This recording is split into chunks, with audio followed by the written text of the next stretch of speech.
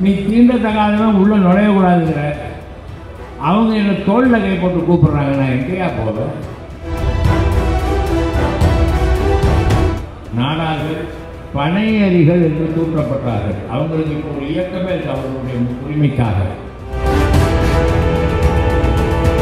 அவர்கள் மனிதர்களாக சொந்த ஊரிலே மதிக்கப்படாதவர்கள் சொந்த மதத்தால் மதிக்கப்படாதவர்கள்.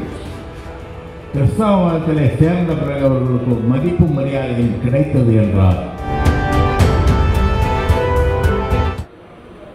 இங்கே எப்படி மதமாற்றம் ஏற்பட்டது? அதை பற்றி நிறைய பேசிட்டு இருக்காங்க. இங்கே வந்து ஃபோர்ஸ் பண்ணி மதமாற்றம் பண்ணாங்க. வலியுறுத்தி மதமாற்றம் செய்தார்கள். வலு வலியுறுத்தியெல்லாம் செய்யலை. நீ இருக்கிற தெருவில் நான் போகக்கூடாதுங்கிற. நீ சூத்திரம் உள்ள நுழையக்கூடாதுங்கிற. நீ தீண்டத்தகாதவன் உள்ளே நுழையக்கூடாதுங்கிற.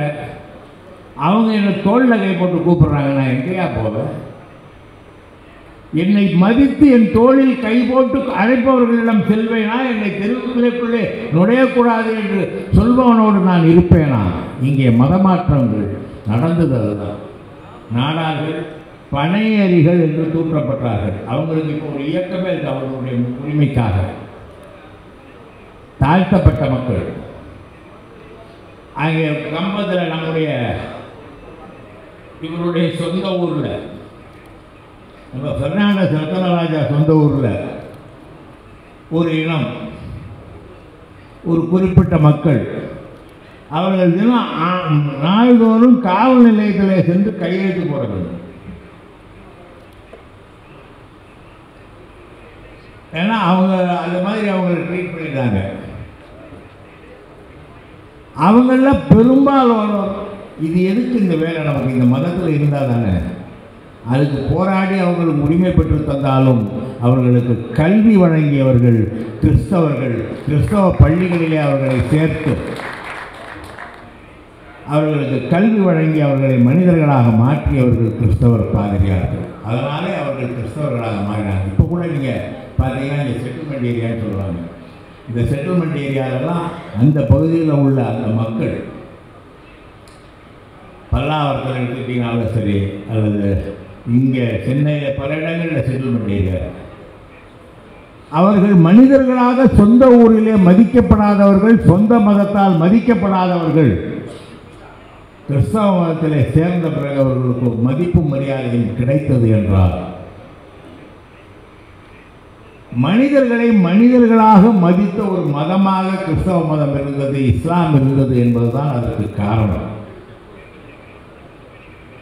இந்த போராட்டத்தை முன்னெடுத்து தான் இந்த இயக்கம் தோன்றியது. என்னிடம் கேட்பார்கள் நீங்கள் எல்லாம் இந்து எதிரிகள்.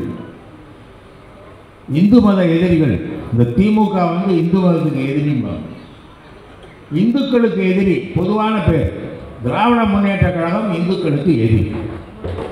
எனக்கு கேட்டாலே சிரிப்பாக வரும் காரணம் என்னென்னா தொண்ணூறு சதவீத இந்துக்களாக இருக்கக்கூடிய பிற்படுத்தப்பட்ட தாழ்த்தப்பட்ட மக்களின் முன்னேற்றத்திற்காக ஒரு இயக்கம் தோன்றி நடைபோட்டு கொண்டிருக்கிறது என்றால் அது திராவிட முன்னேற்ற கழகம் நீதி கட்சி தொடங்கி நீ யாரை படிக்கக்கூடாது என்று சொன்னாயோ நீ யாரை மற்றவனுக்கு வேலை செய்வதற்காக படைக்கப்பட்டவன் என்று சொன்னாயோ